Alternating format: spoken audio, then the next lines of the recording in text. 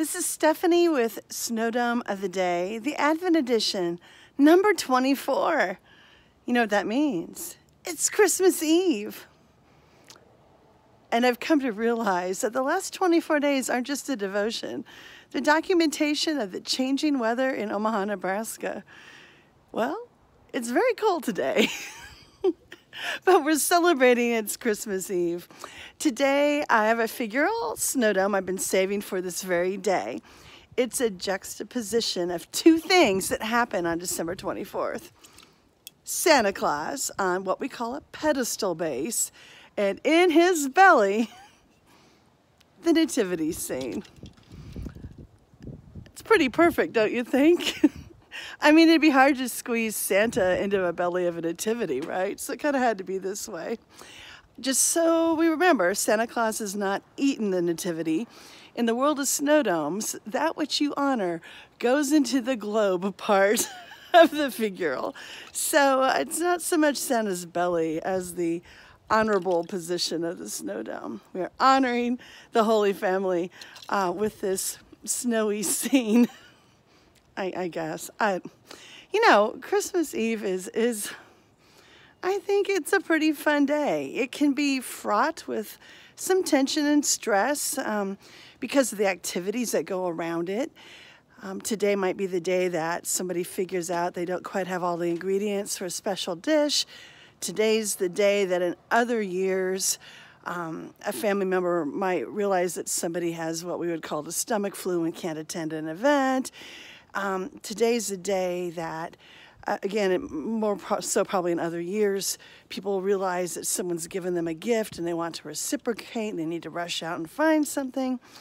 I'm hoping that this year uh, we have a little bit less of that kind of stress, although I'm, I'm very sorry that it comes at the cost of adding the stress of people letting go of some of their family and personal traditions and rituals for a year. So, um, for that reason, I give thanks for what's inside of this snow dome um, a story of faith. And all the things that some of us may be missing this year are the things that surround but are not the story of Christmas.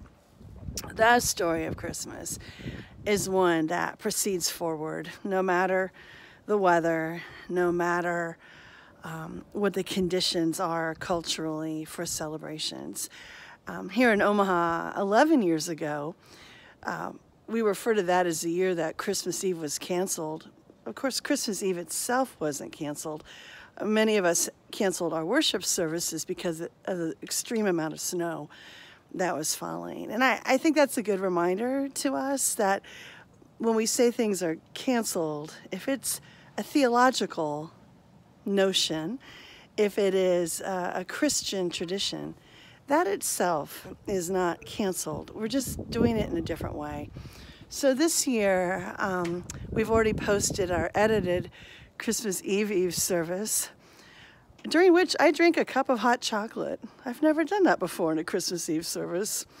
And tonight we will live stream at 7 o'clock. And Unlike other years, that service will be attended by people in other states. And tomorrow noon, our African refugees will stream their service for Christmas Day in Kirundi and Kiswahili. And that service, unlike other years, will be attended by people in another continent.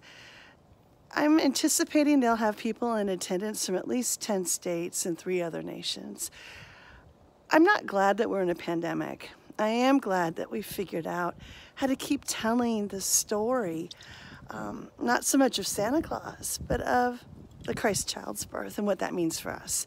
The notion that God is with us in the flesh, in person, that our humanity matters, and in the midst of that humanity, we too can be messengers of good news. The angels, um, the angelic messengers, went first. But after that, shepherds, innkeepers, women and men um, told that story. And they told it long enough and well enough that we know that story as well. And um, this year, I'm giving thanks for that Christmas story that brings us together across time zones, um, across different conditions of living. It brings us together in the midst of different family traditions that may or may not be happening the same way.